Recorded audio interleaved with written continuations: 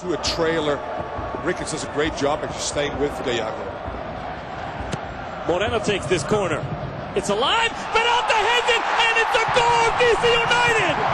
Jaime Moreno took the corner. It was flipped on by McTavish and headed home by Gonzalo Peralta, his first goal of the year. And how fitting that it's McTavish and Peralta, the two players who get the lead, get the tie back for DC.